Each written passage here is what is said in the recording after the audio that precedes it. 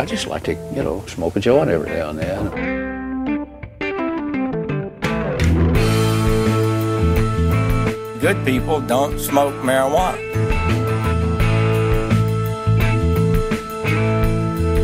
You dick! Welcome to Vote Pro Podcast, brought to you by VoteProPot.com.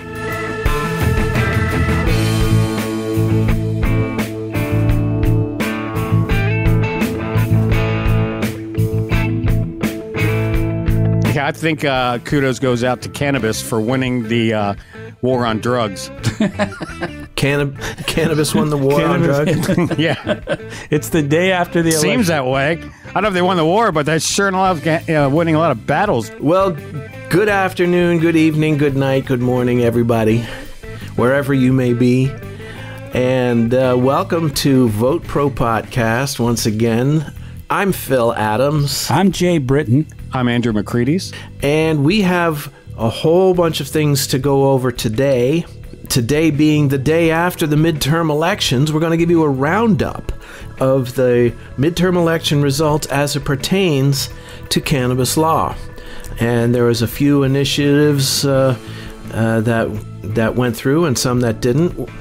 We're going to um, bring you an op-ed uh, that was in Wall Street Journal by former House Speaker John Boehner entitled Washington Needs to Legalize Cannabis. And that's going to be uh, very interesting. But first, the big story today, as we predicted uh, a, a few episodes ago, it is now the day after the midterm elections, and Jeff Sessions has been fired. Imagine that. Attorney, just hours, literally after the the the election was over, uh, President Trump has announced Attorney General Jeff Sessions is leaving the Department of Justice, and uh, none too soon for for us on the uh, on the side of legalization. Attorney General Sessions submitted his resignation at the request of President Trump. In other words, he was fired. Yep. on Twitter. No, no, he did it in in in writing. On Twitter. Um, now, this is a, a letter that a lot of people have um, imagined it was probably written some time ago, and finally dated and signed today. And it says, At your request, I am submitting my resignation. Since the day I was honored to be sworn in as Attorney General of the United States, I came to work at the department every day, determined to do my duty and serve my country. Blah, blah, blah. and um, now, I don't think uh, cannabis legal reform had really anything to do with this decision. I think it all has to do with. Um, Russia. well, well, with the with the Russian collusion uh, invest the Mueller investigation, Sessions Recusing recused himself. is really himself. the- yeah. right. Trump probably has form letters where just you fill in Jeff Sessions and here you go, you're fired. Actually, I I Oh, did yeah. hear from a source close to the president that the president provided the letter for him to sign. Who knows if it's Yeah, true Well, that's not. Yeah, that's, That's not, not hard to imagine. no. But he's been very clear about his unhappiness with Sessions. I mean, saying things uh, uh, such as at one point he said, "I don't even have an attorney general," and that's sad. Um, he he expected Sessions to do uh, to have his back a little more than he than he has. Yeah. Well, it's not the attorney general's job to have the president's back. It's his job to be the attorney general of the United States. Well, Holder sure had Obama's back. Well, you know, Eric Holder certainly did have Obama's back. I'll say you know and and i think it's it's not uh, too much i don't think there's anything wrong with that No. um, i think it's not too much for the president to have an attorney general that that he trusts um, and and that is on his side I don't know. I, I- I think a politician's first priority is to the country, not to the president. I mean, that's just my opinion. well no i think that's true too um, but um, i think what this means for cannabis legal reform is very big um, I think it's really been Sessions that's been the, the, the fly in the ointment here, if you will. I think he's the one that's that's you know the the uh, the roadblock in all of this. Um, I don't know that to be a fact, but it just seems like it is. Well, I think it was interesting if you guys saw the news. I mean, literally, this came out a few hours ago, and within a couple hours. Um, Mayor Bowser at a press conference to talk about legalization of sales of marijuana in D.C. Mayor of D.C. She's she's working on legislation which she expects to have out by the first of the year, is what she said. Now, what happened in D.C. for those who aren't familiar, Andrew could tell us, but they legalized possession. You can you can you can possess uh, cannabis, you can smoke cannabis, you can give it to your friends, but there's no sale of cannabis in D.C. Well, what happened was the, the DC Cannabis Campaign, on their own, uh, the Marijuana Policy Project passed on DC for that election. Uh, and uh, the DC Cannabis Campaign got some backing, and they started a ballot initiative. Now they realized that it wouldn't pass if you had a ballot initiative that forced the United, the DC government to spend money setting up a regulated system. Th- that they couldn't do that. You had to get Congress's authorization, and they were not going to authorize it. So they wrote up a ballot initiative that made it legal to possess and grow your own and that passed. So now Yeah. in DC, you can grow your own, you can give up to two ounces away, but you can't sell it. Well, and the reason, again, as you as you just made clear, was because of Congress. Congress stood in the way of, of the sale. Um, they wouldn't appropriate the money. They wouldn't they wouldn't let that happen. So now already, I mean, my point is that within a couple hours of him uh, turning in his resignation letter, she was on, on on the podium giving a speech about legislation to legalize the sale in D.C. I think that's kind of incredible. I mean, he hadn't been gone for five hours, and she was on the podium. So. I, I think this is going to have a huge effect. One of the things, guys, we need to talk about though is the guy replacing him. Um, you know what? What is that? You know what good does it do if this guy, even though he's technically temporary, um, he may be there for a while. And you know, I did some research. I never heard of the guy. Well, he's uh, his chief of staff. Right, So he was his chief of might, staff. He, he might have a lot of similar. Well, yeah, the interesting thing here is that um, normally when an attorney general goes, the deputy attorney general becomes the Right. acting attorney general, but the deputy attorney general is one Rod Rosenstein. That doesn't really help Trump out No. to have Rosenstein as the acting attorney general for a number of reasons, and uh, again, having to do with the Mueller investigation. I think, as far as what this fellow Whitaker, Matthew Whitaker, Yeah. is the uh, chief of staff that Andrew's talking about. What his disposition is towards cannabis, we don't know, and we're just going to have to wait and see. Well, I, I did some research on that, and I found a couple of conflicting things. Um, and you have to read some into it. He ran for the Senate in Iowa a few years back. Well, he was a talk show host on the Fox. Uh, he worked for. CNN, but he ran for the Senate in uh, Iowa in 2014. You know, one of the things he, he he stated during the campaign was that he modeled himself politically after Rand Paul. That's kind of interesting because, of course, Rand Paul is a libertarian and very much pro uh, drug legalization in general, but certainly cannabis. So that's that's interesting. You know, you, you could take that in one way, but then I found another a letter of resignation when when um, when, when Barack Obama took over because he worked for George Bush in the administration and he resigned when Obama came in, and he wrote a short letter. Um, Being a United States attorney is the greatest professional experience and honor of my life. I am very proud of what we have accomplished in this office. We have worked very hard these almost five and a half years to advance the goals of the Department of Justice. We have been firmly committed to protecting our citizens, all very generic stuff from terrorist attacks, reducing gang and gun violence, protecting our children from predators, and reducing the availability of meth, cocaine, and marijuana in our communities. So there there you have the other side. So who knows? Who knows? the fact that that Jeff Sessions is not there anymore. Um, I mean, we did a, a segment last time about all of these growers' applications basically being stuck in limbo because Sessions didn't want to approve them. They just languished. Maybe we'll see if those things move through. Maybe that'll give us an indication. Okay, folks, if you like Vote Pro podcast. And if you agree with what uh, what we're putting out here, um, we hope you'll please help us out and go to the show description down at the bottom of the page or go to Apple Podcasts or iTunes and leave us a five star rating or a comment or both if you feel it's warranted.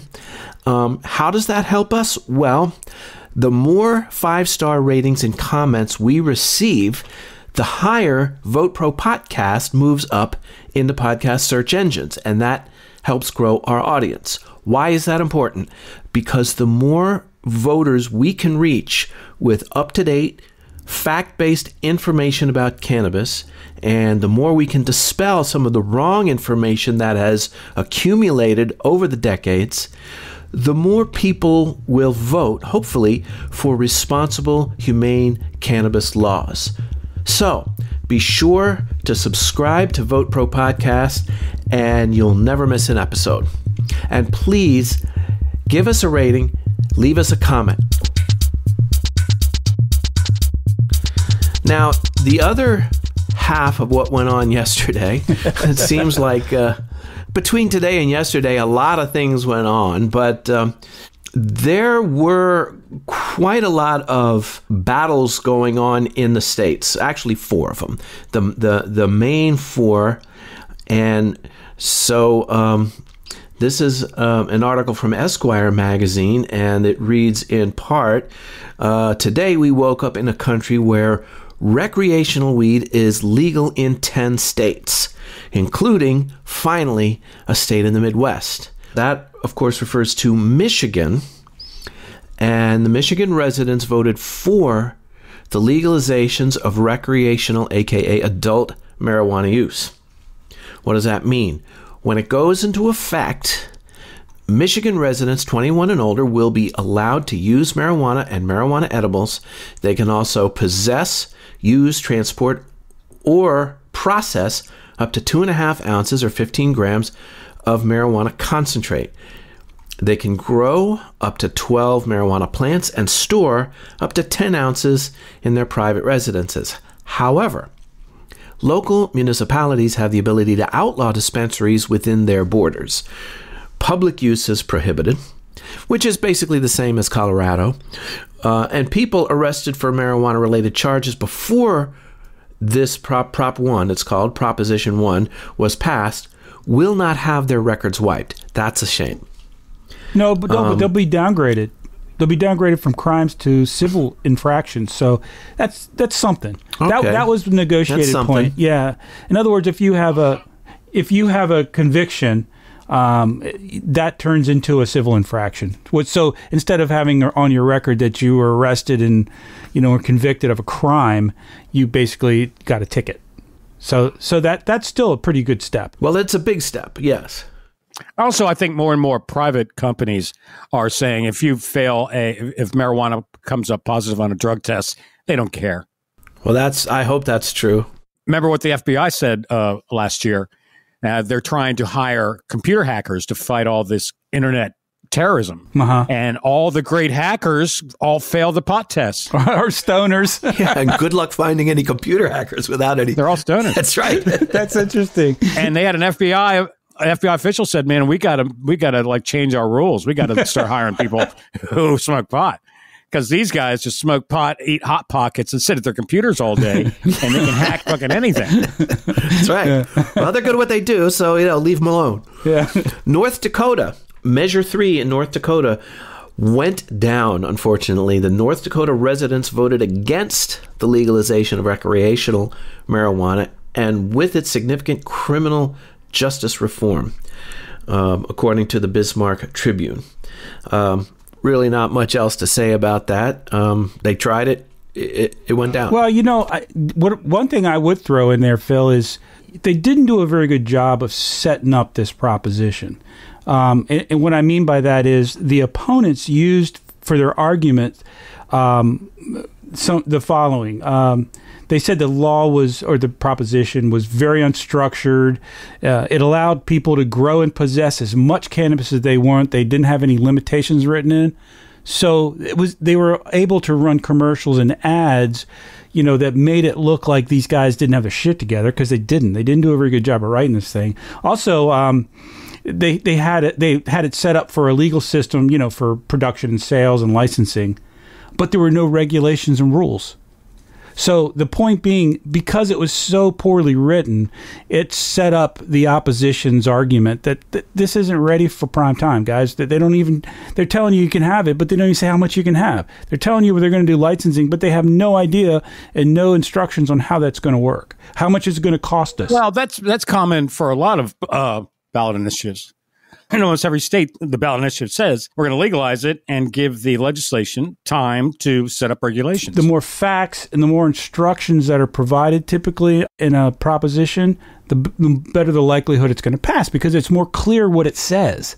This was so unclear Right. that it was much easier for the opponents to convince voters not to vote for it. Yeah. well, they also had a, a lot of opposition. I mean, that's. uh, that was one of the states where the police departments used their social networking platforms. Yeah, but they were fight saying they were saying things like, "How would you like your next door neighbor to be to to have two tons of marijuana in his house?" There's nothing in the law that says he can't. It just says he can have it. He can possess it. Th- those are the kind So, of ads they were running. It sounds, So- Jay, like like the voters of North Dakota may not have been against legalization of cannabis in principle. that's the hope. It's just that this law was poorly written. And and it speaks to what Andrew said many times. It's it's not just it's all well and good to talk about, you know, legalization, but you know, you got to get your shit together when it comes to writing the law. I mean, not every law is a good law. Well, and, and you know when they took uh, in, in polling in North Dakota, it, it wasn't as strong as it is in other states, but uh, some of the polling still had uh, ha- had voters in the plus side for legalization, with for for medical especially. But because this was so poorly written and, and prepared, it was so easy for the opponents to, to tear it down and, and make it make it scary to, to the voters. Better luck next time, North Dakota. Kudos to Michigan, and and let's go to the next one. Kudos to Utah. Um, the residents of Utah voted for legalization of medical marijuana, according to the Salt Lake Tribune. Um, what does the measure mean? Well, medical marijuana is now legal in Utah for people with qualifying medical conditions. It will be closely regulated by the state, which will set up approved dispensaries.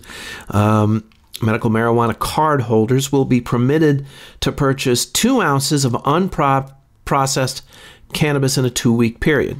If they live more than 100 miles away from the pharmacy or dispensary, they will be able to grow six plants in their home. Smoking marijuana is still illegal, but other forms like edibles and oils for vaping will be allowed. Now, uh, again, we we we just talked uh, last time about where was it that said um, you can smoke it but you can't eat it? Arizona. Yeah. Was that Arizona? Yeah. Arizona. You can smoke it, but no concentrates. In Alabama, you can concentrate, but you can't smoke. Right. And Utah, you can concentrate and and ed- and eat, but you can't smoke, and you can vape. Well, you know, I have a question. I have a question for Andrew. Um, you were in the bar business for years. I'm ignorant on the laws with regard to alcohol. A lot of these propositions they give local jurisdictions, you know, counties and cities, the ability to set up their own regulations or decide whether or not they want to have dispensaries. Is it similar in the alcohol uh, business? In other Absolutely. words, yeah, it is. Okay, Absolutely, it is. Because what happens is uh, the state will set the like the maximum. Uh, you know, like for example, in the bar business, the state of Maryland says you can serve alcohol till two o'clock in the morning. Uh, Now, certain jurisdictions can go. Uh, you can uh, in our areas you have to close by midnight. I see. So it's like we don't want any zoning. bars open by midnight. Right, but but the but the county can't come in and go. The state says you can stay up until two. In our county, you can stay up until two thirty. Right, I Right. see. You can't do that. Right. So the state sets the the the maximums, and then the the localities can come in and, and tighten it up from there.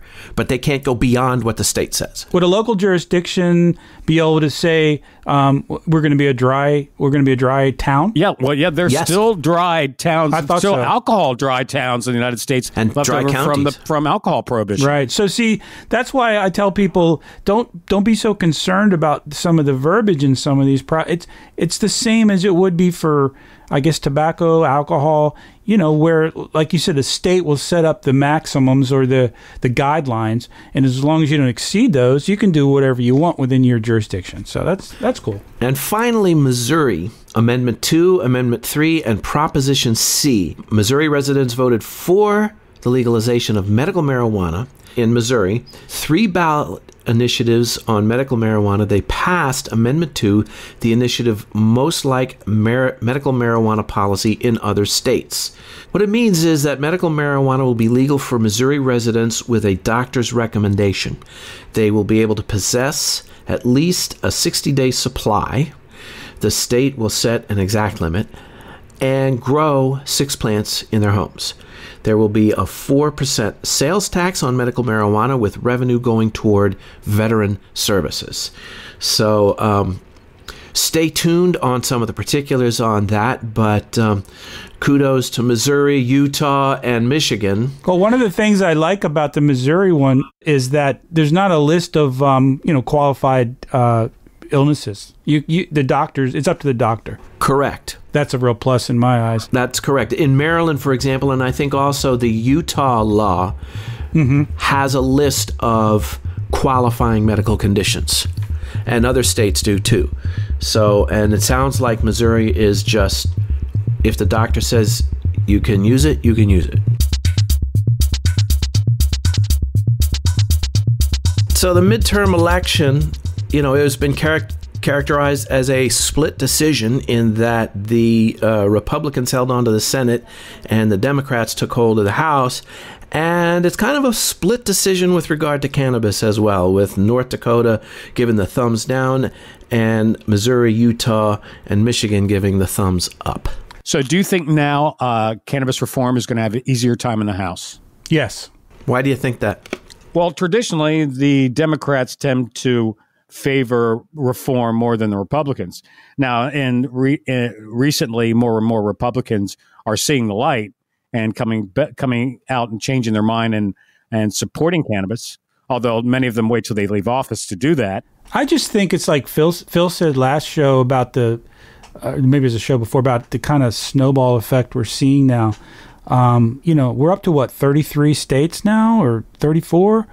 That sounds right. Yeah, 33, 34. And one Yeah. thing, one thing we might mention too, there was a an initiative, an issue, issue one on Ohio's ballot yesterday, that failed miserably, and uh, it let's see, it went down sixty four percent of uh, Ohioans voted against it. Basically, it was a measure um, that would take cannabis related crimes and and convert them. I think. Uh, and, and it would focus on treatment instead of incarceration. So it was a very generic kind of general, uh, and it and it failed miserably, which was a bit surprising to me. But I'm not really familiar with Ohio politics. Well, uh, a, a cannabis proposal failed last time, the last election in Ohio as well. Is that right? Okay, so maybe it's Ohio. Yeah, I mean, maybe I'd, I'd like to see the polling. I'll have to look that up. The in the in the but generic. in, the, in the previous election, the the uh, legislation that was up for vote was really poorly written, and it gave like a few private companies the mother load of of the profits from any kind Right. of medical campaign Right. industry. no kidding. So not Oh. all reform is So- good reform. Right. It's a perfect example. So just because a ballot didn't pass is not really, in some cases, it might be a big loss, but in some cases, it's not a big loss. It's just a setback. Yeah, or or a gain in the case of shitty, you know, really bad. Yeah, it's a del- it's a delay in the game.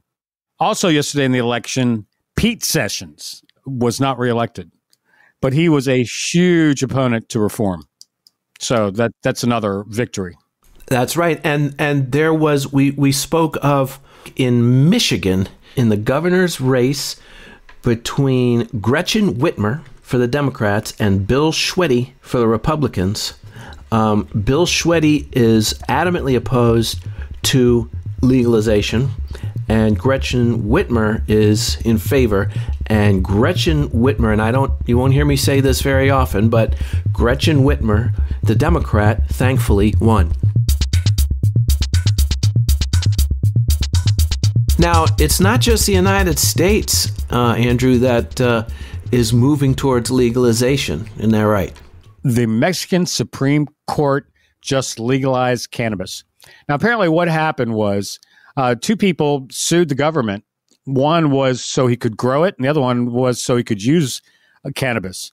And and the Mexican Supreme Court ruled in their favor. Now that doesn't mean you can light up tomorrow, but what that means is now you know the Supreme Court hands that to the Mexican legislation, and they have to write up the, the law. So now let's see how that goes. So, what were the laws on the books regarding cannabis in Mexico? I don't Well, know. it was against the law. And as a matter of fact, Mexico is it was a little bit harsher. I mean, they, a lot more people were in, were in jail for simple possession. No, I, I, I don't think this was a uh, this was the result of an arrest. I think this was the result of a um, of somebody, two people actually, just bringing a case to court. I see. Just just with the claim that it wasn't constitutional. Correct. They were just not Right, correct. de- Okay. It's declared unconstitutional. unconstitutional. Okay. And so now the United States is the only country in North America that uh, cannabis is illegal Wow. on a federal Yeah. level. Man. And, so, and now what? Now what is? How is this going to affect the gray market? You know. So now all of a sudden, what's going? Now we're going to see is now because currently. Uh, Americans are not importing Mexican brickweed. That's just it's it's old news. They're not doing it. It's stopped. All the big uh, smugglers stopped doing it. And what is happening is America is growing the best weed in the world, and people are smuggling it into Mexico for the booming Mexican middle class. Right. It's kind of reversed. Right. Right. So now what's going to happen? You're going to have these American companies like they did in, Can- in Canada. They're going to go down to Mexico and start opening up uh, green building greenhouses and being on a southern, you know, more southern with a longer growing cycle, and they're they're going to start growing unbelievably great weed and, in legal greenhouses in Mexico. I mean, that's my impression. Ay, ay, And- ay, bang, bang. Which means, yeah, which means they're going to, if that happens, it depends on the timing. Uh, if America doesn't legalize more, uh, you're going to start seeing high grade Mexican weed start being smuggled back in the United States. and it just ebbs and flows back and forth. That's Yeah. one of the reasons it went down in North in uh, North Dakota. I mean, there's no limits. Gee, I mean, I can grow 100 plants and grow. What are you going to do with two tons of marijuana? You're not going to smoke it, you know. So it's going to go into the gray market. You grow it legally, but you're going to sell it illegally. Mm-hmm. you know and until everything goes legal there's always going to be a black market so you want to end the drug war you got to legalize it nationally So, Jay, um, there's another leading voice here in the States calling for legalization. Who would that be?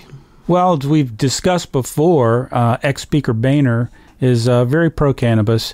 And I found it really interesting that he published an op ed in, uh, in uh, the Wall Street Journal yesterday, November 4th, the day before the election, or the day before the day before the election, I guess.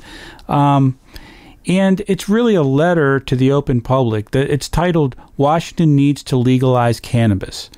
Voters in four states may relax the rules Tuesday, bringing the total to 32.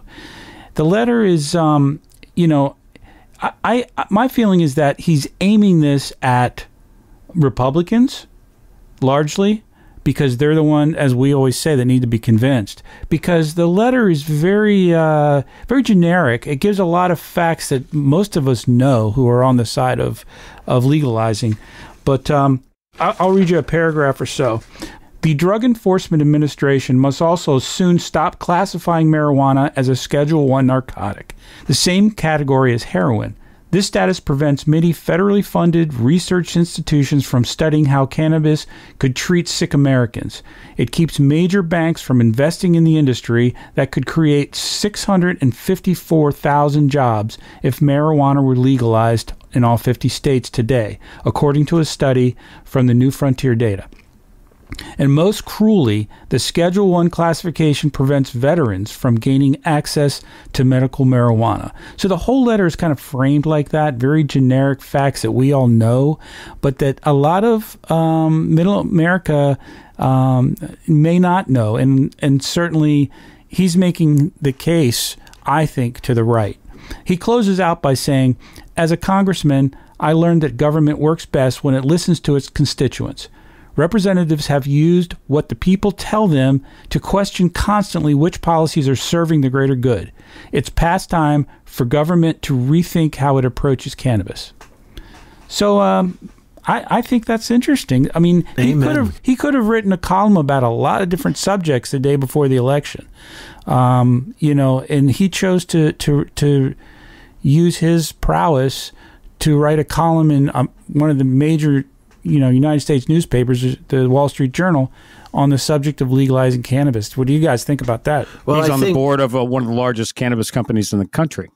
True. Yeah, and uh, he's Good uh, enough reason he- for me. You think he has ulterior motives? Yeah. well, no, I well, yeah, yeah, I do. I, I think yeah, he's he realizes that it's no big deal. So he's using all the he's so eloquently politically stated. He uses all the the, the best arguments, the veterans, the Uh-huh, kids, the right. unfairness, you know, Yeah. the research, you know, uh, and deep down he's saying, "Hey, I want to make some money off this. You guys got to vote for it." Well, I think there's nothing wrong with that. I mean, that's the American There's nothing way. wrong with that. And and and Andrew, I think it's it's you know you you mentioned that the uh, the Democrats are typically the ones who tend to favor legalization more. The other side of that coin is that this is not going to go anywhere until the the people on the right get on board. And- Exactly. And, this is one guy on the right speaking to the right saying, you know, it's time. It's past Right. time. He's Yeah, going to be I- one of the most effective advocates for re, uh, cannabis reform that On the right, certainly. we yeah. have. You're On the- right. yeah, that's good. Well, it's going to be effective of all of everyone, right and left. Yeah, you're right. I right, mean, the people on the left, you're preaching to the choir on the left. You know, Right. But so this guy is going to change the minds of the people that's that, that count. Yeah, right, that's right. And, and make it politically viable for for conservative Republicans or, or libertarians to vote for legalization there you go. Correct. I agree. instead of instead of making it a a, a liability. yeah, guys, why don't why don't one of you guys get your assistant to send him a letter? Let's get him on the show. All right, if I had an assistant, I would do that very thing.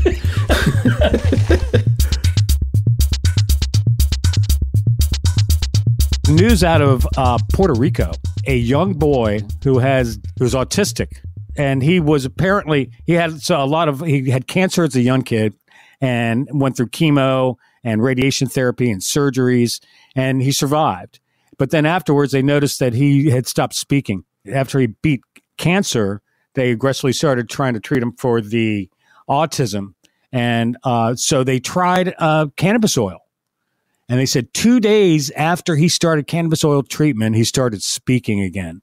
Wow. And he started Whoa. with just vowels. And then he moved on to, con- to consonants.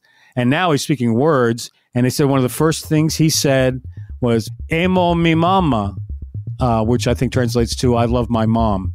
So imagine having a, like a the kid's like four or five years old. Wow. Imagine having No a four or five year old Oh, for the first time, hearing them speak, and what they tell you is they love you. I mean, that man. Well, folks, thank you once again for making us part of your day. We hope you enjoyed this episode of VoteProPot-Cast, and we hope that you will keep in touch. Check us out at votepropot.com. Send us an email at votepropot at gmail.com. Please like and follow us on Facebook, Twitter, and LinkedIn. Search for Vote Pro Pot. And as always, there's still so much to do. Stay involved, keep informed, and vote pro pot. Wish I was up in Vancouver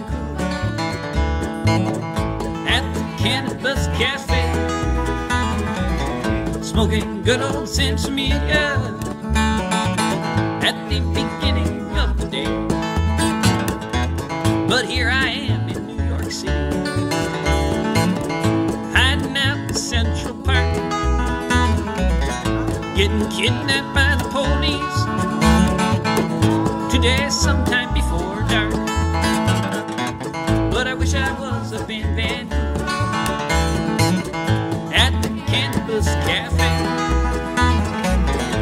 Smoking good old Sensimilla at the beginning of the day. The judge looked down upon me, frowned. He said, "Kid, get on your way." Just don't start out your morning with espresso and a J. I said, I wish I was up in Vancouver